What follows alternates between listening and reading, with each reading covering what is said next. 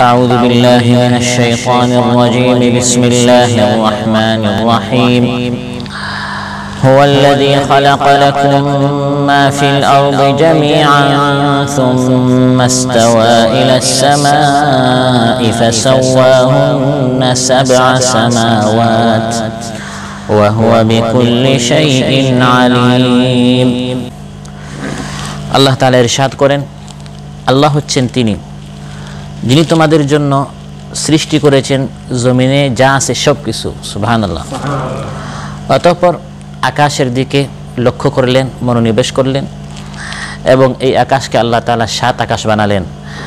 আল্লাহ তাআলা সব কিছু সম্পর্কে অবগত আছেন সব কিছু আল্লাহ তাআলা জানেন।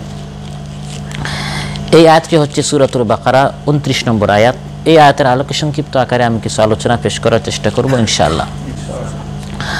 আল্লাহ তালা বলেন এই আয়াতে তার দুটি পরিচয় তুলে ধরেছেন। আল্লাহ হচ্ছেন তিনি, যিনি তোমাদের জন্য আকাশ সৃষ্টি করেছেন।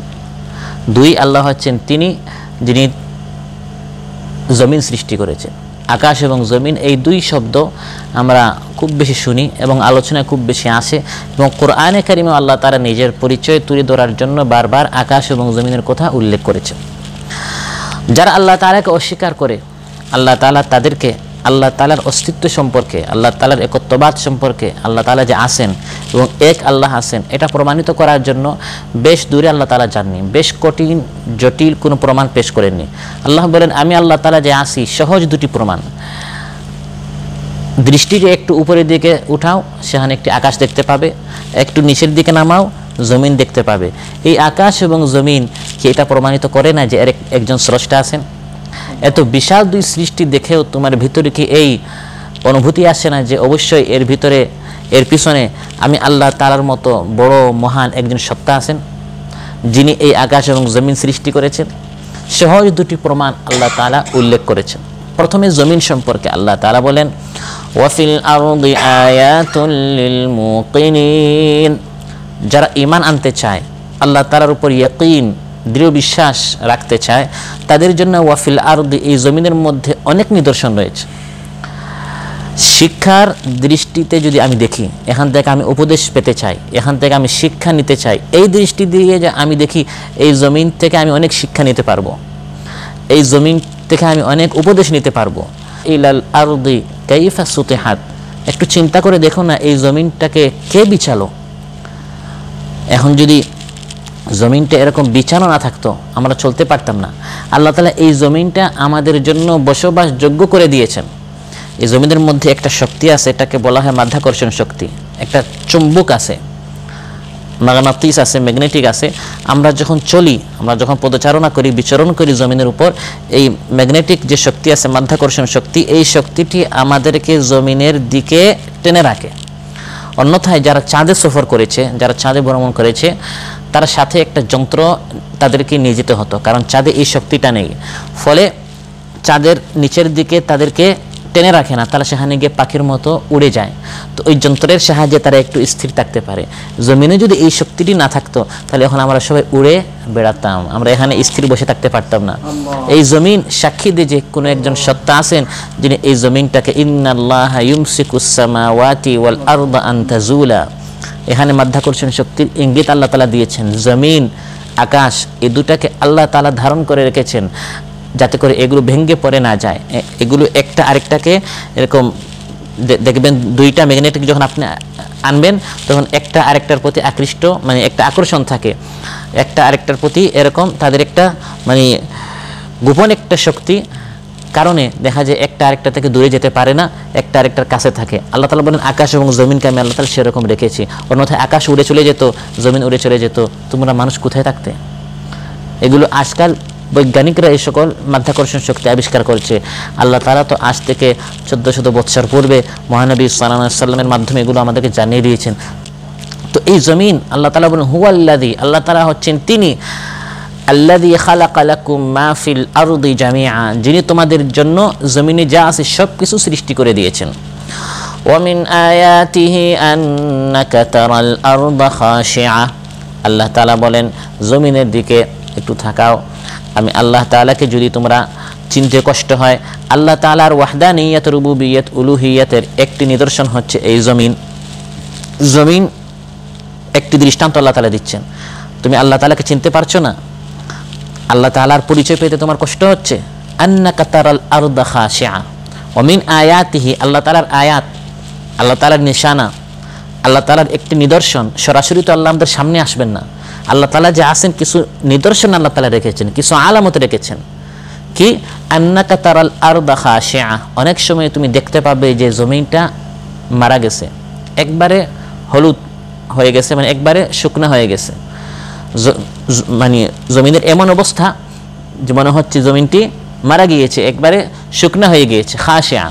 ফাইদা আনজালনা আলাইহাল মা। আল্লাহ তাআলা বলেন, যখন আকাশ থেকে আমি আল্লাহ তাআলা পানি বর্ষণ করি, তখন এই জমিনটি ইহতাজ্জাত ওয়ারাবাত সুশোভিত হয়ে যায়, সবুজ হয়ে যায়, সুন্দর হয়ে যায়। এগুলো কে করলেন? আল্লাহ তাআলা। এবং সেখান থেকে কত ধরনের শাক, সবজি, তরুলতা আমরা সেখান থেকে পাচ্ছি। ইন্নাল্লাযী আহইয়াহা লামুহির মাউতা। যে আল্লাহ তালা এই মৃত জমিনকে আবার জিন্দা করলেন, সেই আল্লাহ তাআলা তোমাদেরকে মৃত্যুবরণ করার পর আবার তোমাদেরকে পুনরুজ্জীবিত করবেন। এই সবগুলো হচ্ছে, এই জমিন থেকে তুমি, আমি আল্লাহ তালাকে চিনো। একটু চিন্তা করো, তাহলে এই জমিন থেকে তুমি, আমি আল্লাহ তালাকে চিনতে পারবে। আল্লাহ তাআলা হযরত আদম আলাইহিস সালামকে যখন এই জমিনে অবতীর্ণ করলেন জান্নাত থেকে এই জমিনে যখন পাঠালেন, তখন আল্লাহ তাআলা হযরত আদম আলাইহিস সালামকে বলে দিলেন ফিল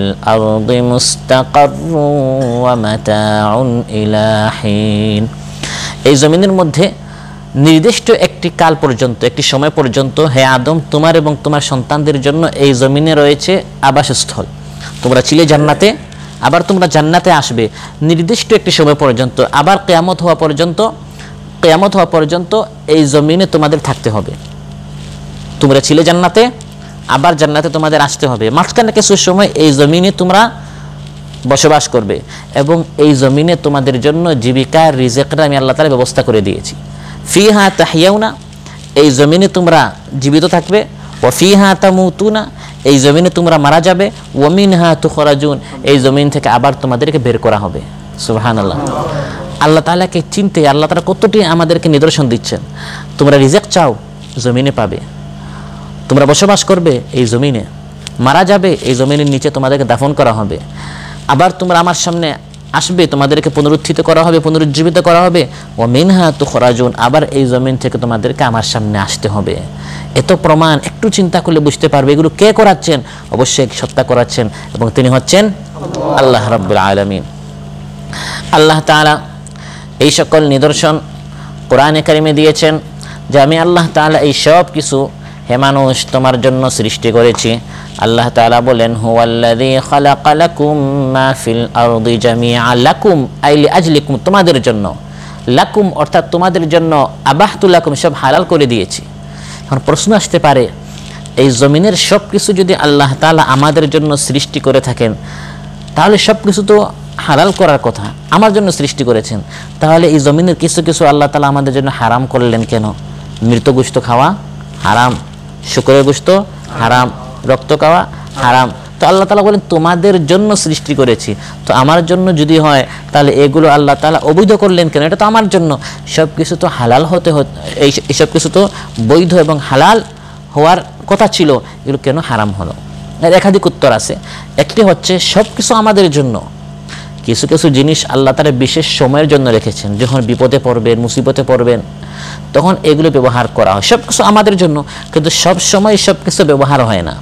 কিছু জিনিস কোনো সময় ব্যবহার হয় যেমন ডাক্তার সব ঔষধ এগুলো রুগীদের জন্য।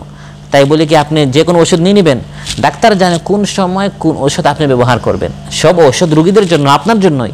কিন্তু সব ঔষধ একই সময় ব্যবহারের জন্য নয়। আল্লাহ তালা সব কিছু আমাদের জন্য সৃষ্টি করেছেন। কিছু জিনিস খাদ্যর জন্য, কিছু জিনিস বস্ত্রের জন্য, পোশাকের জন্য, কিছু, আপনার বাঘের যে চামড়া, এটা থেকে আমাদের ইয়ে আপনার শীতের যে কাপড়, কোট এবং জ্যাকেট, এগুলো বানানো হয়, কম্বল বানানো হয়। তার গোষ্ঠ আমরা খাই না, কিন্তু তার এই চামড়া থেকে আমরা উপকৃত হই। কিছু প্রাণী আল্লাহ তালা সৃষ্টি করেছেন আমাদের জন্য চিকিৎসা স্বরূপ আজকাল বিজ্ঞান এটা আবিষ্কার করতেছে, সাপের যে বিষ যেটা খেলে মানুষ মারা যায়, এই বিষ থেকে আবার অনেক ধরনের ঔষধও আবিষ্কার করা হচ্ছে। আবার কিছু প্রাণী আল্লাহ তালা সৃষ্টি করেছেন, লিলি এবার এগুলো দেখে শুধু আমরা শিক্ষা নিব। এই শিক্ষা নেওয়াটাও একটা ফায়দা, একটা উপকার। শিক্ষার জন্য আল্লাহ তালা সৃষ্টি করেছেন। কিছু আছে খাওয়ার জন্য, কিছু আছে পোশাকের জন্য, কিছু আছে চিকিৎসা, ঔষধ, আপনার ওষুধের জন্য, এবং কিছু আছে শিক্ষার জন্য। সব কিছু যে আপনার শুধু খাওয়ার জন্য এরকম না। আল্লাহ তালা জানেন কোনটা কোন সময় এবং কোন উদ্দেশ্যে সৃষ্টি করা যায়। আমার জ্ঞান তো সীমিত। আল্লাহ তালা জ্ঞান হচ্ছে অসীম। আল্লাহ তালা সব কিছু জানেন। আমার জ্ঞান সীমিত হন, আমি মনে করতেছি এটা আল্লাহ তালা অবৈধ কেন করলেন? আমার জন্য হারাম কেন করলেন? সব কিছুই আমার জন্য, কিন্তু এক এক জিনিস এক এক অবস্থায়। অনেক সময় অনেক ক্ষতিকর কিছু প্রাণী আছে। এগুলোকে মারা যাচ্ছে না।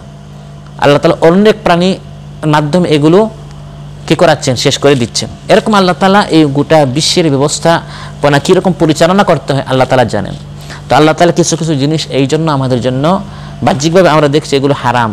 হারাম তো ঠিকই আছে, কিন্তু বিশেষ কিছু সময়ের জন্য আল্লাহ তালা এগুলো বৈধ করে দেন। অনেক সময় যখন আপনি বিপদে পড়েন, মারা যাবেন, কোনো খাবার আপনার কাছে নেই, শুকর গুস্ত ছাড়া, সেই সময় ইসলাম এটাকে বৈধ করে দিয়েছে। আরেকটা উত্তর, আল্লাহ তালা কিছু জিনিস কেন হারাম রাখলেন? পরীক্ষার জন্য। কিসের জন্য? আদম আলহিসাল্লামকে আল্লাহ তালা জান্নাতের সব কিছু তার জন্য বৈধ করে দিলেন এবং আদম এবং হাওয়াকে বলে দিলেন, ওয়ালা তাকরাবাহাদিহিসাজারা জান্নাতের সব কিছু আমি আল্লাহ তালা তোমাদের জন্য বৈধ করে দিলাম, জায়জ করে দিলাম। কিন্তু এই একটি বৃক্ষ আছে, গাছ আছে। গাছ থেকে খাওয়া তো দূরের কথা, গাছের কাছেও যাওয়া যাবে না। আল্লাহ তালা সব কিছু বৈধ করতে পারলেন। একটা গাছের জন্য আল্লাহ তালা কি ঘাটতি পড়তো? আল্লাহ তালা আসলে পরীক্ষা করতে চেয়েছেন। হ্যাঁ আদম সব কিছু জায়েজ করে দিলাম। এগুলো সব জায়েজ।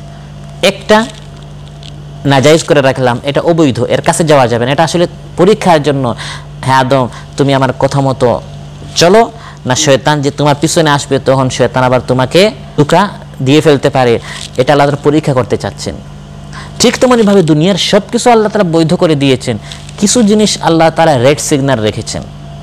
কিছু জিনিস আল্লাহ তালা হারাম করে রেখেছেন। এটাও আমাদের জন্য। অর্থাৎ এর মাধ্যমে আল্লাহ তালা পরীক্ষা নিচ্ছেন।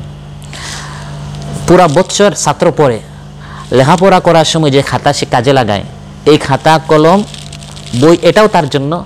আর পরীক্ষার সময় যে কাগজটা সে কাজে লাগায়, ওটাও তার জন্য।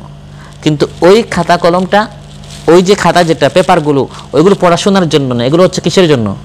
পরীক্ষার জন্য। আর পুরা বছর যে কাগজগুলো সে ব্যবহার করেছে, এগুলো পড়াশোনার জন্য। দুটাই তার জন্য। একটা হচ্ছে পড়াশোনার জন্য, একটা হচ্ছে পরীক্ষার জন্য। ঠিক তেমনইভাবে কিছু গোষ্ঠ আছে আমাদের খাওয়ার জন্য, আর কিছু প্রাণী আল্লাহ তালা সৃষ্টি করেছেন পরীক্ষার জন্য। ওটাও আমাদের জন্য। পরীক্ষাটাও আমাদের জন্য। কিন্তু আমি মনে করি শুধু যেটা খেতে পারি, এটাই আমার, না? আমার এটার ধরন বিভিন্ন হতে পারে। এই পরীক্ষাটাও আমার জন্য আল্লাহ তালা আমাদেরকে পরীক্ষা করে নিতে চান যে, বান্দা, শত জিনিস হারাল করে দিলাম, দুই একটা হারাম রেখেছি।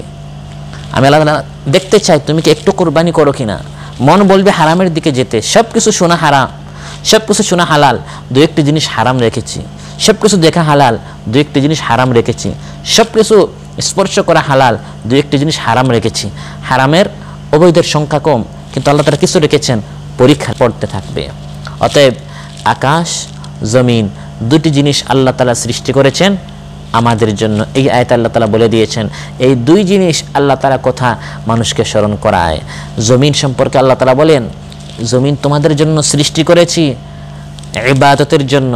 কিন্তু এই জমিনে যদি ইবাদত না করো, জমিনের প্রত্যেকটি স্থান যেখানে তুমি পদচারণা করেছ, তা কেমতের দিন তোমার বিরুদ্ধে সাক্ষী দিবে। আজ আমরা এখানে বসে আছি, এই জমিন সাক্ষী দিবে। জমিন আমাদের জন্য সৃষ্টি করে আল্লাহ তালা করেছেন ইবাদতের জন্য। আমরা কি জমিন আল্লাহর ইবাদতে ব্যবহার করেছি? না নাফরমানিতে ব্যবহার করেছি। যে তীরে বসে নারীকে ধর্ষণ করে রাতের অন্ধকারে তাকে নদীর তীরে ফেলে রেখে আসা হয়েছে, কেউ দেখে নাই। কেয়ামতের দিন এই জমিন অন্ধকার, এই জমিন সাক্ষী দিবে হে আল্লাহ। অন্ধকার রাতে পুলিশও দেখে নাই, রেবেও পায় নাই। অনেক তল্লাশি করে পাওয়া যায় না আসামিকে, কিন্তু আমি সাক্ষী। ইদা জুলজিলাতিল আরদু জিলজালাহা আল্লাহ তালা বলেন যখন জমিন প্রকম্পিত হবে কেমতের দিন জমিনের ভিতরে যত কিছু রয়েছে, যে সকল মানুষকে দাফন করা হয়েছে, টাকা পয়সা অর্থ করি যা জমিনের নিচে রয়েছে, সব সেই ভূমিকম্পর সঙ্গে সঙ্গে বাহিরে চলে আসবে। তখন মানুষ বলবে, এই দুনিয়ার কি হয়েছে, পৃথিবীর কি হয়েছে, জমিনের কি হয়েছে? আল্লাহ তারা বলেন ইয়াউমা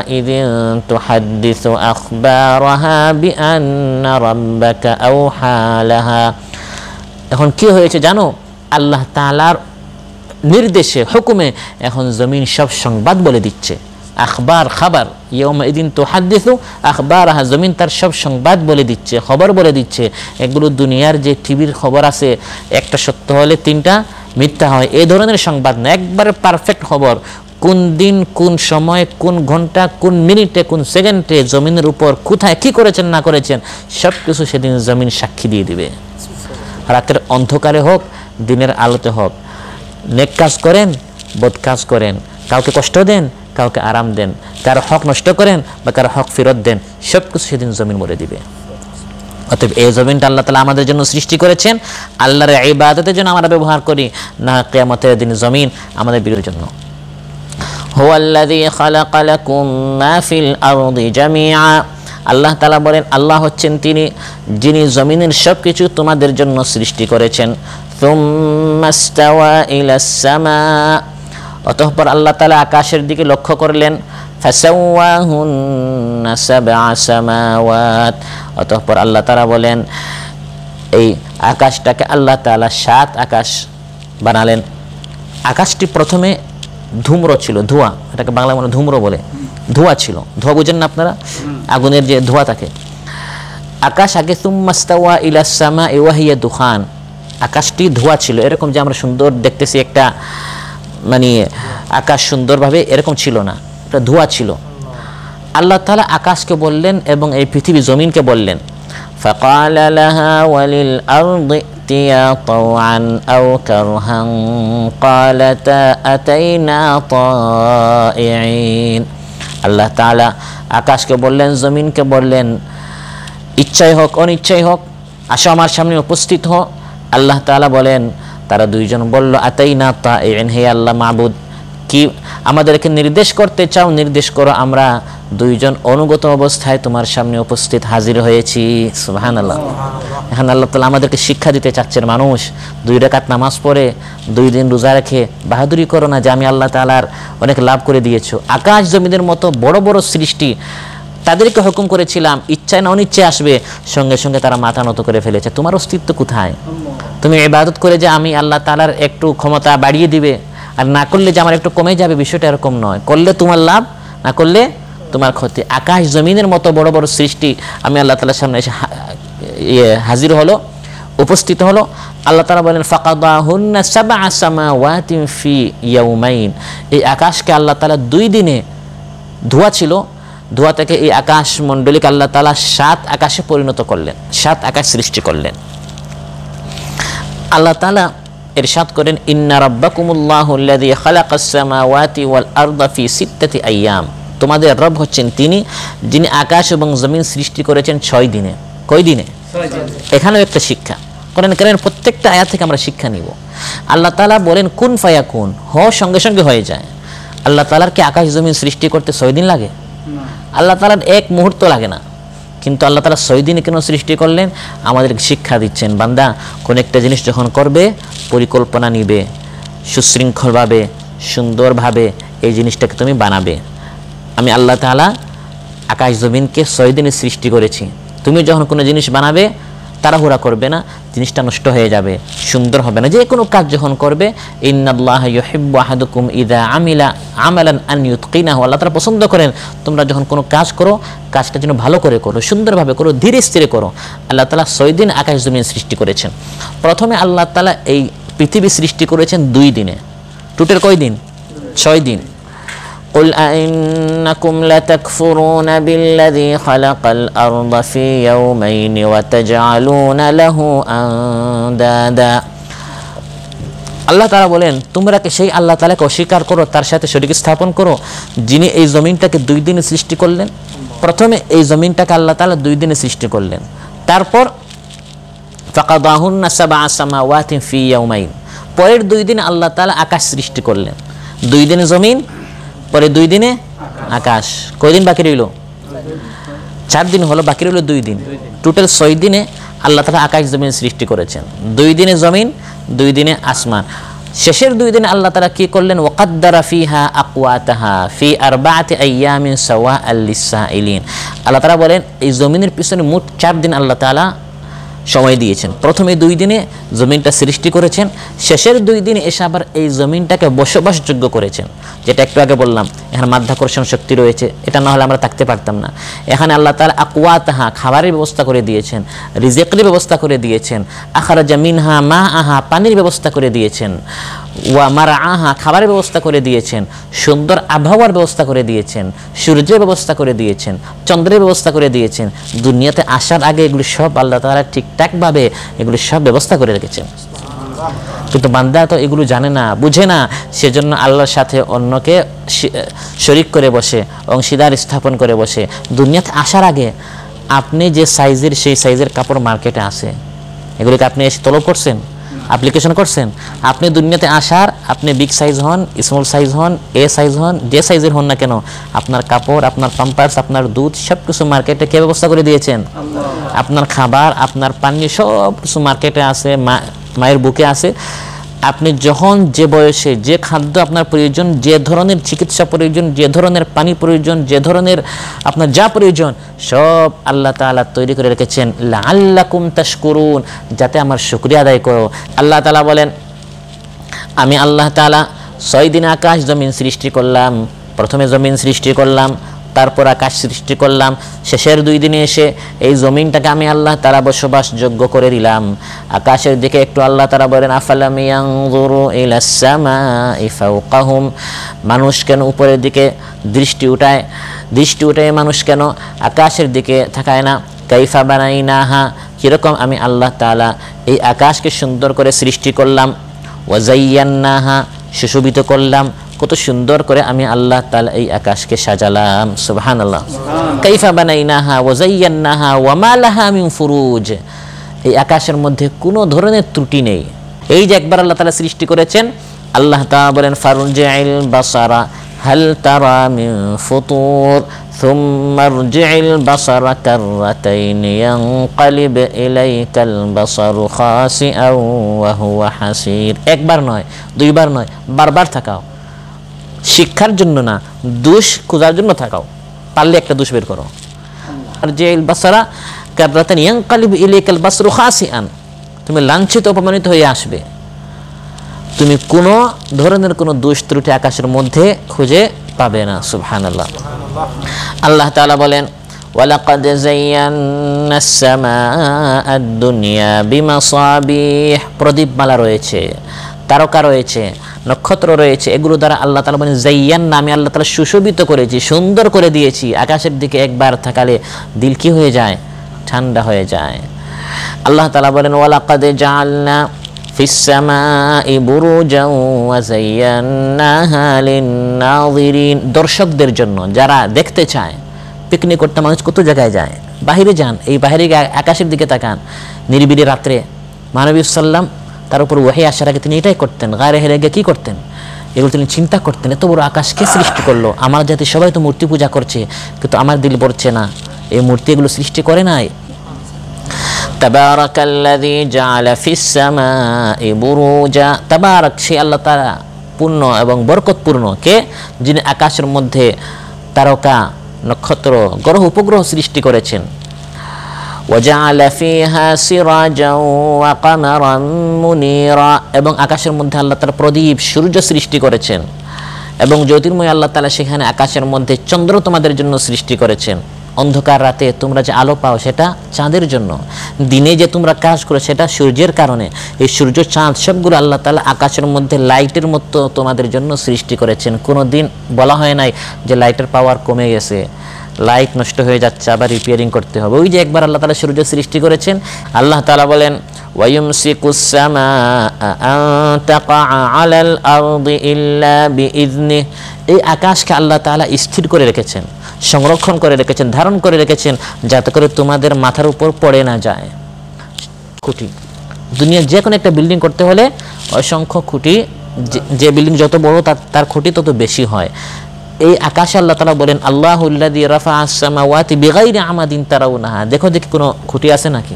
কোনো স্তম্ভ নেই, কোনো খুঁটি নেই। কোনো খুঁটি নেই, খুঁটিবিহীন আকাশ সৃষ্টি করলেন।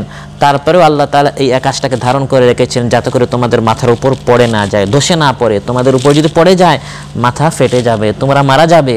ইল্লা ইদনি তার অনুমতি ছাড়া কোনো দিন যেন আকাশটা ফেটে না পড়ে। তার মানে একদিন অনুমতি আসবে, সেদিন ইদাসমা উন সাক্ষাৎ সেই আকাশ বিদীর্ণ হবে, টুকরা টুকরা হয়ে মানুষের মাথার উপর পড়বে, জমিনে পড়ে যাবে। সে, সেটা কখন? কেয়ামতের সময়। ইয়াউমা নাতুইস সামাআ কাতাইস সিজিল লিল কুতুব। আল্লাহ তাআলা বলেন, তোমরা একটা দফতর, একটা খাতা যেরকম হাত দিয়ে তোমরা গুটিয়ে রাখো, আমি আল্লাহ তাআলা কিয়ামতের সময় বিশাল আকাশকে সেরকম আমার হাত দিয়ে আমি গুটিয়ে ফেলব। এমন মহান সত্তা। সেই সময় আল্লাহ তালা ইদাসসামা উম ফাতারাত ইদাসমা উন শাক্কাত, বিভিন্ন আয়াতে বিভিন্ন রকম আল্লাহ তাআলা বলেছেন, ইয়াউমা তাকুনুস সামাউ কাল মুহল, ইয়াউমা তামুরুস সামাউ মাউরা যখন আকাশ টুকরা টুকরা হয়ে যাবে, আকাশ একবারে খান খান হয়ে যাবে এবং মানুষের উপর এই জমিনে কি করেছেন। ওয়াহুয়া বিকুল্লি শাইইন আলিম। আয়াতের শেষে এসে আল্লাহ তাআলা বলেন সব কিছু সম্পর্কে আল্লাহ তাআলা অবগত আছেন, আল্লাহ তাআলা সব কিছু জানেন। إن الله لا يخفى عليه شيء في الأرض ولا في السماء আকাশ এবং জমিনে কোনো কিছু আল্লাহ থেকে গোপন থাকে না আপনি গোপনে কি করছেন প্রকাশ্যে কি বলছেন কি আপনি বলছেন বা করছেন সব কিছু জানেন কে ইয়ালামু সিররাহু আখফা গোপন কথা আল্লাহ তাআলা জানেন গোপন থেকে যেটা গোপন সেটাও আল্লাহ তাআলা জানেন আমরা জানি একটা হচ্ছে প্রকাশ্য একটা হচ্ছে গোপন প্রকাশ্য যখন আমি প্রকাশ্যে কথা বলছি এটা সবাই শুনতে পারছে। একটা হচ্ছে গোপন, যেটা আমরা কানাঘুষা করি, আস্তে আস্তে কথা বলি, দুই, তিনজন ছাড়া অন্যান্যরা শুনতে পারে না। আল্লাহ তালা বলেন, আল্লাহ তালা গোপন কোথাও জানেন? গোপন থেকে যেটা গোপন সেটাও জানেন। সেটা আবার কি? মুফাসসিরিন কেরাম বলেন, গোপন থেকে গোপন কোনটা? কিছু কথা আছে আপনার সাথে কথা বলার সময়। আমি আপনাকে এটা বলার জন্য কথাটি আমার মুখ পর্যন্ত চলে আসছে, জবান পর্যন্ত চলে আসছে। পরে আবার চিন্তা করলাম, কথাটা বলে আবার কোন মুসিবতে পড়ি থাকে এটা বলার দরকার নাই। আপনি আমাকে বলেন ভাই বলেন না বললাম না বাদ দেন। আমি এটা বলে ফেলতাম কিন্তু এটা বলি নাই। আল্লাহ তালা বলেন ও আখফা এটা গোপন থেকে গোপন। সেটাও আমি আল্লাহ তালা জানি। যদি বসার ব্যবস্থা না থাকতো আমরা কি করতাম? বাজে আড্ডা দিতাম গল্প গুজবে লিপ্ত থাকতাম। কিন্তু এই যে গল্পে বসতাম না, গেলাম না। এই যে বসতাম আমাদের সব হয়েছে কিছু আলোচনা শুনলাম কোরআন থেকে অনেক কিছু জানতে পারলাম। উনি যদি আলোচনা না করতে এত কিছু জানার সুযোগ আমাদের তফিক কুলাইতো না। এই যে দেখেন, আল্লাহ দুনিয়ার আকার সৃষ্টি দুনিয়াটা সৃষ্টি হচ্ছে ছয় দিনে আলোচনা করাতে আমরা এটা জানতে পেরেছি।